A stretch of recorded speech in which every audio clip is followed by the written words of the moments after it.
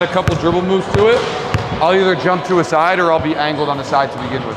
You're just attacking that way. Make sense? So just handle it a little bit. I'll either jump or go, just attack. You either get your pull-up this way or get your pull-up that way. Make sense? We're trying to get five makes. A lot of advantages I also create for myself is uh, the big man setting the screen. Yep, And I get to my pull up like that a lot. for sure. We'll work on that a little bit too, like off the reject or using the screen. Yeah, we'll work on that a little bit. Sometimes they jump out and I just Yep, shoot with confidence. Get to your spot, shoot it with confidence. Go. There it is. One. Two. Yep. Four. Three. I need to like, how can I better prepare myself for like your reaction? Like how to react. One, it's patience. So like if I'm here right now, I'm a little bit slower, and then I'm playing. If you don't react, I'm going. If you do react, ready, react, you're gonna cut that off. Now I play.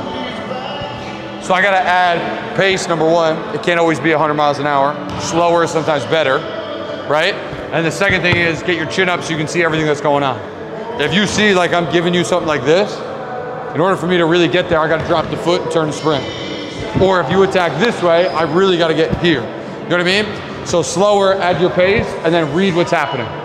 And then add in like a flinch or two to make me react. Once I react, then you can play. Does that make sense? Good hit, free the line. Hit one, we'll go to the other side. Yep. Pull. Perfect.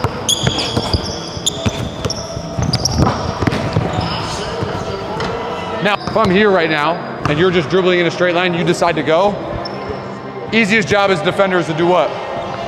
When you can slide, right? It becomes difficult when you have to react and then turn and sprint. You know what I mean? Go. Not bad. That's fine. Go. Once you're gonna go, go. Sell something. Yes, solid. I like that. Today, good. Go.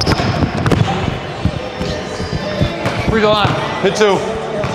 For more content just like this, please make sure you hit the subscribe button on the bottom of the page.